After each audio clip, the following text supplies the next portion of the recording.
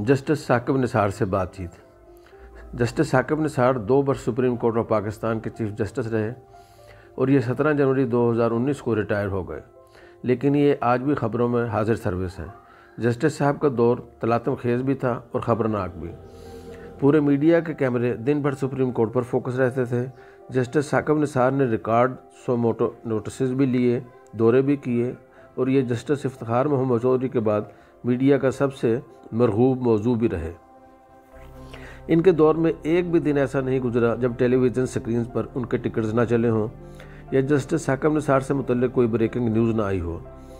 Chief justice ने दयामीर भाषा और महमद डैम के लिए फ़ंड इकट्ठा करने का ऐलान भी किया था, और इसके लिए बाकायदा फ़ंड रेजिंग भी शुरू हुई। उनके दौर में मियाँ नवाज़ शरीफ के ख़िलाफ़ फैसले भी हुए, ये डिसक्वालीफाई भी हुए और गिरफ़्तार भी हुए, और इमरान खान को सादक और अमीन का टाइटल भी मिला। और 2018 के मुतनाज़ इलेक्शन भी हुए, गोया उनका दौर ठीक ठाक हंगामा खेज था। और इसकी हंगामा खेजी आज भी कायम है। अल्लाह ताला ने जस्टिस साकब निसार को याददाश्त भी अच्छी दे रखी है। ये बात और इसका सियाको सबाक नहीं भूलते। जनवरी 2018 में कसूर की बच्ची जैनब का वाक़ पेश आया था। इस वाक़े के दौरान हमारे सहाफ़ी दोस्त डॉक्टर शाहिद मसूद ने दावा कर दिया, मुलजम इमरान अली आलमी माफिया का रुकन है और उसके सैंतीस फ़ारन अकाउंट्स हैं। जस्टिस साकिब निसार ने इस दावे पर सो मोटो नोटिस ले लिया। समात शुरू हो गई। चीफ जस्टिस जस्टिस ने इस समात के दौरान सीनियर सहाफ़ियों और एंकर पर्सन को भी मावनत के लिए अदालत बुला लिया। मैं भी इस लिस्ट में शामिल था, लेकिन ज़ाती मसरूफियत की वजह से अदालत ना जा सका। मेरी चंद माह बाद जहाज़ में जस्टिस साहब से मुलाकात हुई तो उन्हें याद था कि मैं समात के दौरान अदालत नहीं आया था। लिहाजा उन्होंने फ़ौर शिकवा किया। मैंने आपको दावत दी थी, लेकिन आपने ठुकरा दी। मैंने माजरत करके अर्ज़ किया, ये वाकई मेरी कोताही है। आप अब जब भी बुलाएँगे, मैं हाज़िर हो जाऊँगा। और उन्होंने दूसरे ही दिन मुझे चाय पर बुला लिया और यूँ मेरी उनसे एक घंटा मुलाकात हुई। मैंने इस मुलाकात पर 22 मार्च 2018 को चीफ जस्टिस के साथ एक तवील मुलाकात के टाइटल से कालम लिखा था। इस कालम ने भी इस ज़माने में बहुत शोर बर्पा किया था। इस पर शोज़ भी हुए थे और शदीद तनकीद भी। लेकिन जस्टिस साकब निसार ने वाकई हौसले के साथ तनकीद बर्दाश्त की और मैं आज भी इस पर उनकी तारीफ़ करता हूँ। उनकी रिटायरमेंट के बाद भी मेरी उनसे चंद मरतबा फ़ोन पर गुफ्तु हुई। ताहम मुलाकात नहीं हो सकी। जस्टिस साकिब निसार का व्हाट्सएप चार दिन पहले हैक हो गया था। ये इस पर बहुत डिस्टर्ब थे। लिहाजा सोमवार और मंगल मेरा उनसे दो बार टेलीफोन पर रबता हुआ। ये मीडिया और मेरे साथ नाराज़ हैं, लेकिन ये इस नाराज़गी के बावजूद सबसे बात भी कर लेते हैं। और जिस सवाल का जवाब ये देना चाहते हैं, ये दे देते हैं और जो बात उन्हें पसंद नहीं आती, ये उसे गोल कर देते हैं। ये इनकी पुरानी आदत है। ये जिस इशू पर बात ना करना चाहें, ये उसे डाइवर्ट करने के लिए कोई दूसरा मौजू छेड़ देते हैं। मेरे साथ गुफ्तु में भी ये बार बार तकनीक इस्तेमाल करते रहे। उनका कहना था, आप लोगों ने पूरा मुल्क तबाह कर दिया। आपकी ज़िम्मेदारी है आप सच बोलें, लेकिन आप झूठ को झूठ और सच को सच नहीं कह रहे उनका दावा था कि उनके ऊपर बेहूदा इल्ज़ाम लगाए जा रहे हैं, जबकि उन्होंने नेक नीयती और इंसानी हकूक़ को सामने रख कर तमाम फ़ैसले किए। उनके बकौल, मैंने एक लाख तीस हज़ार दरख्वास्तें निपटाईं, लेकिन इन पर कोई बात नहीं कर रहा। मुझे जानबूझकर गंदा करने की कोशिश की जा रही है। ये मुझे अंडर प्रेशर लाना चाहते हैं, अपसेट करना चाहते हैं, लेकिन मैं अपसेट हूँ और ना अंडर प्रेशर हूँ। ये लोग मेरी जान तो नहीं ले सकते। उनका कहना था कि मेरा व्हाट्सएप अचानक हैक हो गया मेरे बेटे ने व्हाट्सएप और एफआईए को मतला कर दिया। व्हाट्सएप कंपनी का मैसेज आ गया, हम आपका अकाउंट रिकवर कर रहे हैं। लेकिन एफआईए की तरफ़ से अभी तक कोई जवाब नहीं मिला। मैंने पूछा कि आपके व्हाट्सएप में कोई ऐसी ऑडियोज़ और वीडियोज़ तो नहीं थी जिन्हें कोई गलत इस्तेमाल कर सकता हो? ये सवाल उनको अच्छा नहीं लगा। और उनका कहना था कि मेरा व्हाट्सएप हैक करना चोरी है और ये जिसने भी की, उसे अल्लाह ताला के सामने जवाब देना पड़ेगा। मैं अब रिटायर्ड ज़िंदगी गुजार रहा हूँ। मुझे इश्यूज़ में घसीटने, ख़राब करने और तकरीरों में मेरे ऊपर कीचड़ उछालने की क्या जस्टिफिकेशन है? आप तो कम अज़ कम सच का साथ दें। आप तो दूसरों की ज़िंदगी में घुसने वालों के साथ ना चलें। मैंने पूछा, क्या जनरल बाजवा और जनरल फैज़ हमीद आपके फैसलों पर असरअंदाज होते रहे थे? जस्टिस साकब निसार ने कलमा पढ़कर जवाब दिया, बिल्कुल नहीं। मेरा दोनों के साथ कोई ताल्लुक़ नहीं था। मैं इतना कमज़ोर नहीं था कि जनरल फैज़ जैसा शख्स मुझसे रबता कर सकता, मुझसे मिल सकता और मैं उसकी ख्वाहिश पूरी करता। मैं जनरल फैज़ हमीद से क्यों मिलूँगा? और ना उसमें इतनी ज़रूरत थी कि ये मुझे फ़ोन करता या मुलाकात करता।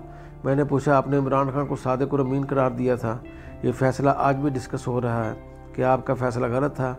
ये फ़ौर बोले, जज दरख्वास्तों और पिटिशन में उठाए जाने वालों सवालों पर फैसला करते हैं।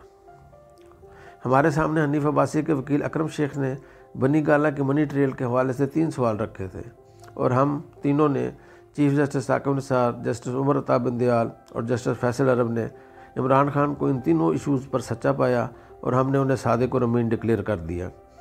इमरान खान इसके अलावा क्या करते हैं? उनकी बाकी ज़िंदगी कैसी गुजरी और उनके बाकी मामला क्या हैं और क्या ये इनमें भी सादे को रमीन है या नहीं? मैं, मेरी बला जाने। मुझे क्या पता? उनका कहना था कि जज फैसले किया करते हैं, फैसले गलत भी होते हैं और सही भी। उन पर तनकीद भी होती है और तारीफ़ भी। और ये फ़ैसले जजेस के बाद भी डिस्कस होते रहते हैं। मेरे फ़ैसले भी रिकॉर्ड का हिस्सा हैं। आप पढ़ लें, आप इन पर बात भी कर लें। ताहम ये याद रखें, जज भी इंसान होते हैं, ये भी गलत हो सकते हैं। और उनके फ़ैसलों का फ़ैसला बहरहाल तारीख करती है। मैंने पूछा ये तासर है कि जहांगीर तरीन बैलेंसिंग एक्ट का शिकार हो गए थे। ये बोले, आप जजमेंट पढ़ लें। इसका जवाब मैं नहीं जजमेंट देगी। मैंने पूछा, इमरान खान ने चंद दिन कबल आपसे क्यों रबता किया था? ये बोले, ये किसी मामले में मेरी मदद चाह रहे थे, लेकिन मैंने उनसे फ़ौर कह दिया कि मैं इस मामले का ज़िक्र भी नहीं करना चाहता। मैं इसमें आपकी कोई मदद नहीं कर सकता। मैंने पूछा कि आपका व्हाट्सएप इस गुफ्तु के बाद हैक हुआ? जस्टिस साहब का जवाब था कि मैं आपसे भी इस मामले में कोई बात नहीं करना चाहता। मैंने पूछा कि, इमरान खान आपके ज़रिए मौजूदा जजेस से कोई सपोर्ट चाह रहे थे, ये सुनकर जस्टिस साकिब नज़ार नाराज़ हो गए और उन्होंने सख्त लहजे में जवाब दिया, मैं इस मामले में कतन कोई बात नहीं करना चाहता, ना हाँ और ना ना। दूसरा जजेस आज़ाद हैं, ये मेरी बात क्यों मानेंगे? मैंने पूछा, अगर आपकी इमरान खान से गुफ्तु लीक हो गई तो क्या ये आप दोनों के लिए ख़तरनाक नहीं होगा? ये सख्ती से बोले, तुम लोगों ने पूरे मुल्क को बर्बाद कर दिया है, बच्चों की ज़िंदियाँ तबाह कर दी हैं। तुम लोगों ने तमाम लोगों के बारे में बदअतमादी और बेतबारी पैदा कर दी है। आप लोग मेरे साथ भी यही कर रहे हैं, लेकिन मैं डरने वाला नहीं हूँ। मैंने पूछा, आपको, आप किसको बर्बादी की बड़ी वजह समझते हैं? ये बोले, हम सब ज़िम्मेदार हैं। मैं किसी एक इदारे को ज़िम्मेदार नहीं समझता। हम सब लोगों और इदारों ने मिलकर इस मुल्क को तबाह किया। आपने भी और मैंने भी। आपकी ज़िम्मेदारी है, आप पाकिस्तान के बारे में सोचें, बच्चों की ज़िंदगी तबाह ना करें, अपना कंडक्ट ठीक करें रेटिंग के पीछे ना दौड़ें। मैंने पूछा, आपका जनरल फैज़ अमीर के साथ कोई रबता है? ये बोले, बिल्कुल नहीं है।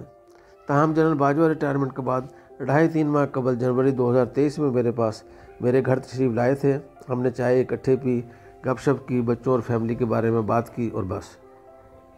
मैंने कहा, मेरा ख्याल है कि आप इस मुलाकात से कबल फैमिली समेत उनके घर भी गए थे।